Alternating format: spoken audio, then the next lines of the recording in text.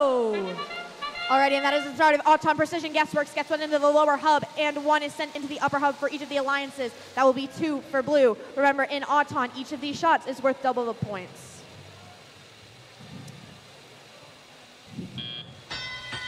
Alrighty, and that is the start of our teleop period. Robots are racing for their cargo. Elk picks one up really quick and shoots into the lower hub and gets a point for the Red Alliance. 2171 shoots into the upper hub for red.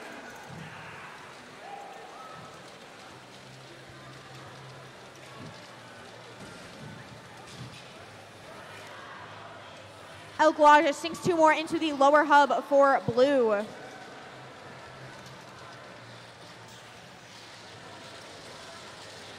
There's some defense going on on the Blue Alliance side of the field. But in the meantime, we have the Red Alliance team 2171 shooting into the upper hub.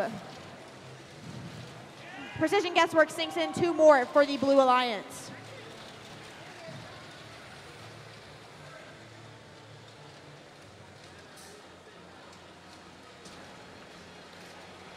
A nice shot from the Cyber Cards, and that will secure the Red Alliance two points.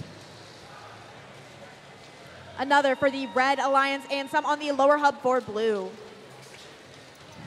Alrighty, we've got the Iron Kings and Barry already attempting to climb. They are on the high rung and trying to traverse to the traversal rung. On the meantime, on the red, we've got the Robo Blitz also trying to do the same. They are on the high rung, reaching for the traversal. And 5402 has done it. They have done a successful traversal climb.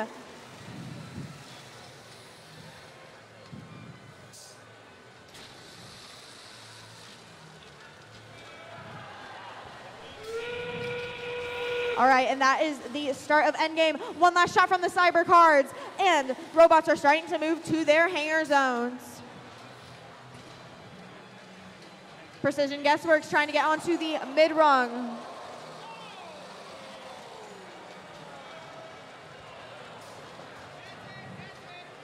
All right, we've got Elk Logics on the Blue Alliance attempting a low rung climb and Precision Guessworks on the mid rung. The Cyber Cards are also on the mid rung. We have three, oh, almost all robots successfully climbed.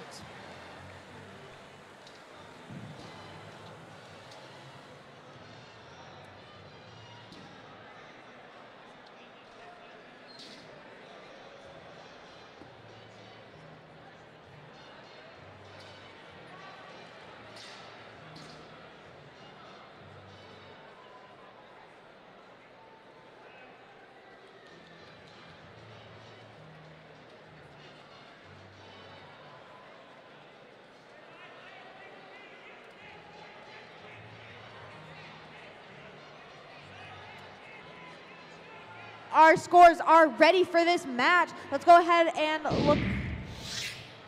And it will be the Blue Alliance.